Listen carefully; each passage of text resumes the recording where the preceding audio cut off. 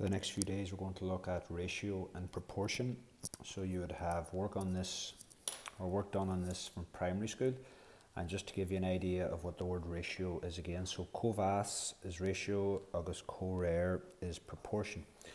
Now, ratio means uh, something like for those of you that have ever mixed a bit of cement, um, you might find that you have to add a certain amount of cement and a certain amount of sand Usually we might, add, for every three shovelfuls of sand, you might add one shovelful of cement. And we write that, so you've got three times as much sand as cement. We write that three is to one. Now that means that if you were to put in six shovelfuls of sand, you would have to put in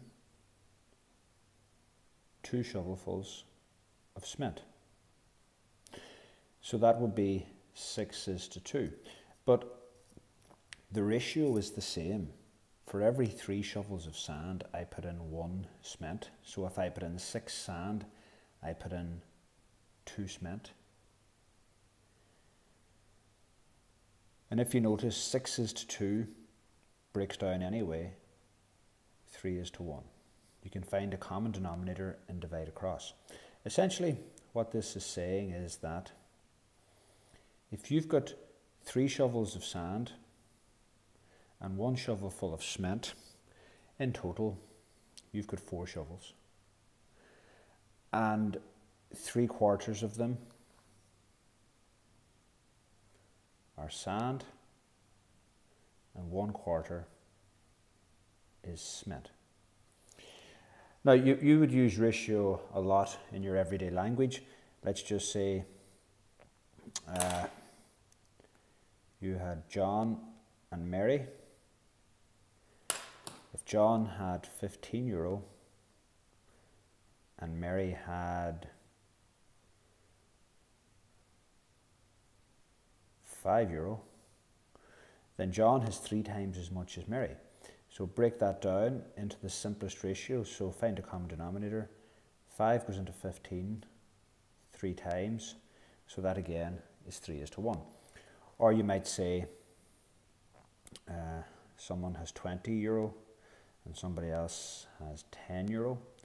So if you break that into a ratio, that's 2 is to 1. And that makes sense because that person has twice as much as the other person. Now, what ratio, or in this particular example, what is the ratio of shaded to unshaded?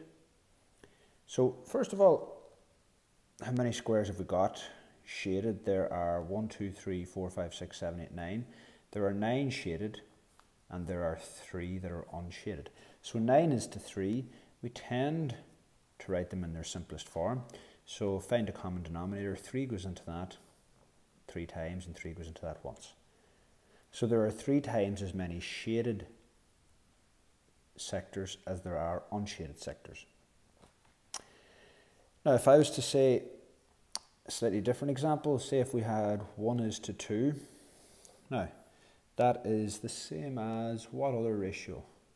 Well, that would be the same as 2 is to what?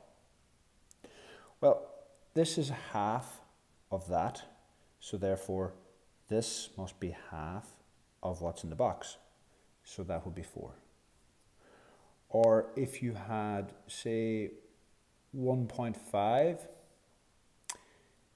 is to 3, same kind of example, then that would be, so this is half of that. So let's just say we had um, so what would go in these two boxes if we have the same ratio? So let's just say 3 is in here. So that is half of that, so this will be half of this. Now if I ask you to write in the simplest form, so scrive firm simply.